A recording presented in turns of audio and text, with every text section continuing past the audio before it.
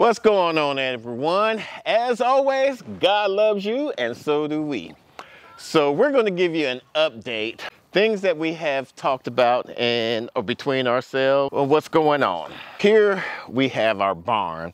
One of our barns. One of our, and what I'm thinking about doing, Mrs. Naked Gardener doesn't know this, so what y'all know is gonna when she knows this, is I'm thinking about putting this as a root cellar uh, barn, possibly taking this down and having the barn kind of flipping it, probably as either a she shed type of uh, classroom type barn, possibly uh, set up for once we get later down the road and starting to do some classes maybe? What's your thoughts on that? I'm i'm not opposed to it because i feel like that's something that even got us on track was people willing to show us what they knew. Mm-hmm. Um, I I'm one that I've taken a crumb, like I took a crumb from Big Bear Homestead and kind of ran with it, learned more things. Um, I took a crumb from Alderman's farm. Uh, right now, I've really gotten into bread uh, making. And if y'all want to see some videos of her making some bread, sourdough, either either bread comment down below and make sure you hit that like button. If we get a hundred likes, she has to make a video about bread making. That's not cool. Yes, it's very cool. so we're going to take a look. I, I, know most of y'all that follow us before when we did a premiere, uh, seen the inside of here, and you'll see why I kind of want to basically tear this down. Not anytime soon because it's going to cost money and put a, a structure where we can do classrooms along with storing some of our canned goods, fermented goods, and things that we uh, produce off that of our is, farm. That is an issue that we're about to be running into. Yeah. On where to store some of our canned goods because we don't have the best storage inside of the house. No. And honestly, it's just the two of us. Everything that we got from our small little like I can't believe that we even got anything. Yeah. Garden is enough to carry us through, and then we're plus the some. Yeah, and then we're about to have our winter garden where uh, I want to play with making some kimchi mm. and some canned collard greens. I want to do some stuff like that, which I need a pressure cooker for. Uh, water ba- bath um, canning is only good for certain things you need if you're going to have like meats in a recipe. Certain things you have to have pressure canner for so. Yeah and then once we get out into the our bigger livestock animals this will be a good if we could get into a cold storage area depending on the square footage that we will need this will be a good place. So let's take a look at this. Ready Does this one? Oh yeah, this one. So here we got definitely have reason why I want to get kind of get rid of this.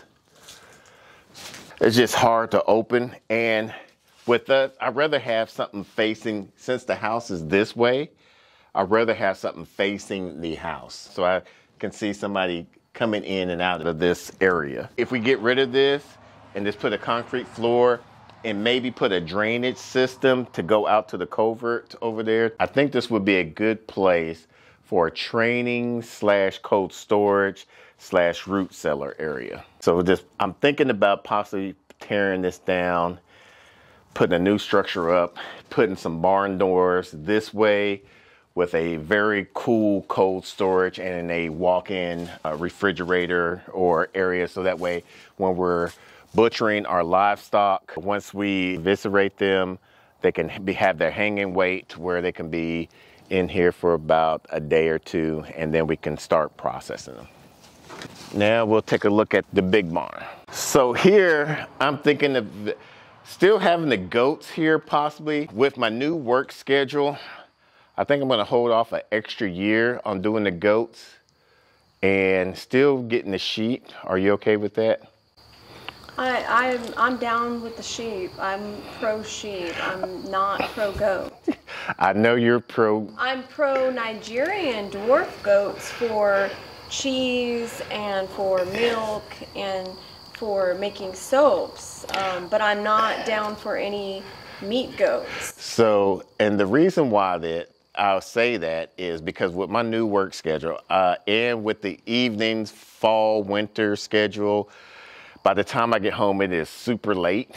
And sometimes I have to work on the weekends. I don't want to put that much workload on Mrs. Naked Gardener. So because I'm also still editing our videos. So because she's going to be dealing pretty soon, she's going to be dealing with our egg layers, our meat chickens, and our meat ducks. Uh, then she's going to be catching her, her swarm that I got to help her build right before spring comes, or her hive. We still got to do our orchard, lay that out. And we don't have child labor. It's just the two of us. It's just the two of us. So this is something totally new for us. Uh, we're empty nesters, never done this before. So if you're new to the channel and you want to do something like this, make sure you hit that subscribe button and so that way you can follow our journey so you don't make the same mistakes that we're making. But what I was thinking, and maybe you can, and Mrs. Naked Garden doesn't know anything about this, I was just thinking about this in my head. So we'll still possibly keep the goats in here year three or four, but I kind of want to start gearing this up to where if any of our animals need to be weaned off or give birth, use this as a birthing pen, pen type ordeal? How I like that. I like that idea. And then, and, and, it's funny that you thought of that because I actually was silently thinking of that as well. So I was thinking about putting these in different sections. Uh, my friend Don, who I used to work with, he was saying to kind of, because these beams looks pretty sturdy. He was saying if we dig like two feet deep and two feet wide, do a concrete uh, grade beam uh, through here, through the perimeter and through across to here to kind of make sure that these beams don't move or shift or anything of that nature will be good. The roof structure is kind of iffy because it has a little sag in here. Um, so we still have to replace the roof. One of our friends, uh, the Yellow Rose Homestead, was talking about they did a, a solar panel. Yeah, and they got that from Harbor Freight for under $200. So we once we get all this done and probably uh, raise the canopy on some of these trees, we might be able to do, uh, we'll invite them over. He's very uh, solar panel technical suave. I'm not. I would think that this would be a good area to house uh, any of the animals to breed some of the animals and then wean them off. I think we have plenty of room. We probably have eight. I think this is like a 30 by 60 area. So we, we're wanting to do like um, breeding in here and birth. It's a breeding birthing barn. Mostly birthing and birthing and weaning off. So like our goats, sheep, pigs, those the, the, reason I said that is, is that we have this fencing over here. Yeah, and this will be, we'll still have this for the goats and sheep, especially, or the bucks. And Big Bear, he brought up a good point because there's a, a dented panel right here. If we make that the opening, we won't lose much from there. That I mean, the panel is pretty much gone, but if we do an opening for a door, then you know we don't have to worry about losing much and they can he also said we i mean we do need to beef up the structure because they will just headbutt and yeah. yeah i think it's pretty sturdy though. I don't think they'll be I, we might have to weld tack weld some of these uh, panels so that way one won't break through but the bucks we got to make sure our bucks whether it's sheep or ram be uh, away from the females. Here is one of our young pecan trees. And right around this area, we're gonna have one of our paddocks. And I will probably have this as a finish off or if we have our hogs. That one's gonna be pushed off to probably year six, maybe eight, around that time frame, because I wanna make sure I'm not putting too much pressure on Mrs. Naked Gardener while I'm at work. You're just trying to retire to be here. After watching some videos, I learned that uh, we're gonna have to prune a lot off of this tree because there's what they call, you want a one leader trunk and you got a leader trunk here, leader trunk here, and you're about to have another leader trunk here. So during the winter time, when this tree goes back into dormancy, we're gonna be cutting this, this limb off, this limb off, these limbs, and this limb. And that way it will put most of that energy back into the root system. And then when comes springtime, it's gonna be able to fruit out and get a, a lot fuller. I'm also trying to harvest and grow some pecan trees from seed. I know it's gonna take anywhere from 10 to 15 years, but I would like to have more trees on this property for the fact that we're gonna have a lot of livestock and a lot of the livestock here in Northeast Texas, it gets very hot that they're gonna need some type of shade from the sun. Here we have our mulberry tree. This was a one of our first surprises after week two being on this property. The missus was uh, cutting the grass, and while she was here, I was Marco Poloing with some friends, and I was like, hey, uh, do y'all know what this little uh, berry is? And they said, that looks like a mulberry plant. So I was like, oh, let me see. I had the missus taste it. I had to make sure it was uh, edible 1st uh-huh. and they was, she was like, oh, it's sweet, it's good. I was like, I'm gonna wait about 15 more minutes before I try one. and so she kept on mowing for a while. I was like, okay, let me see. Yeah, it was, was kind of sweet. So I actually took some cuttings off of here and I, I just stuck them in some water. It's been about eight, maybe 10 weeks now, and they got some roots on there. So once again, we're gonna try to plant some of these out here. Uh, gonna provide not only shade, but also some uh, nutrition value to our livestock. So that's gonna be good off of here. I might also still prune these because we got this branch right here and some other plant uh, branches that kind of cross in between. Then we got these crazy uh, this crazy tree, bush, whatever. I'm not sure what it is. If y'all know what this is, comment down below and let us know. One weekend we went out to the Cottage Farms and uh, we met an interesting couple. So if you're in the Lamar County, make sure you hit them up. They have a wonderful setup. Uh, they introduced us or made us aware about what the programs that the USDA has available, especially for minorities, veterans, and so we started looking them up. And one thing that kind of disappointed me about the USDA, they was telling us that with our thir- our ideal plan of putting a 30,000 gallon tank right here to collect rainwater would be too much where we'd be relying too much on the tank instead of their system. Isn't that crazy?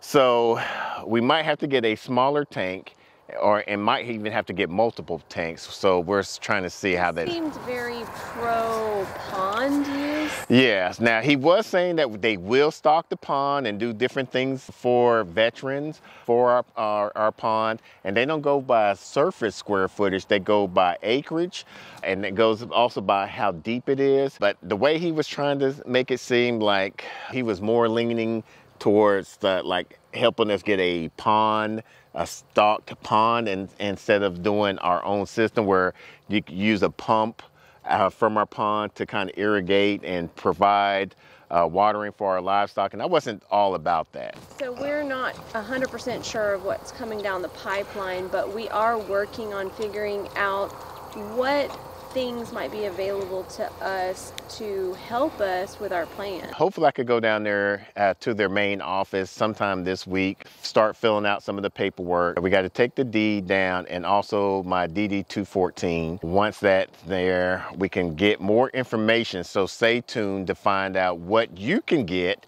if you're a, a minority veteran or or something of that nature. And they don't go by veteran being disabled or anything. It's just basically a veteran, a minority, a female, those types of things. They also were able to give uh, a grant or some things for even a high tunnel so that way we can grow and keep things, especially our citrus. Once we do our orchard, we can be able to house our citrus plants and even our avocado. And Mrs. Naked Gardener can get her bananas uh, all in that high tunnel.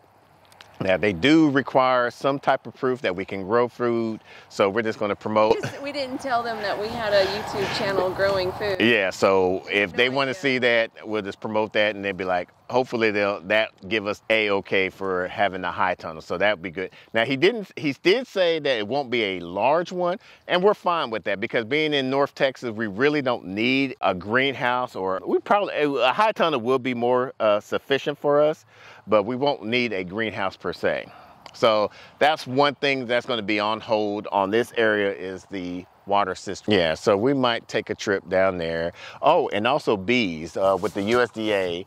They will do some type of uh, stuff funding for bees, so that's a good plus for us as well. So those are some of the highlights and some of the updates that we're going to be doing on our farm. Right now, we're going to be putting up the uh, egg layer chickens, the Mrs. Little Girls. And so, watch this, my little pirate my little pirate, uh, That's my ugly baby. my little pirate chicken lady. So she's about to go put them up. Go on, go to bed. It's so funny. Go. Go. Uh huh. What's that? Good night.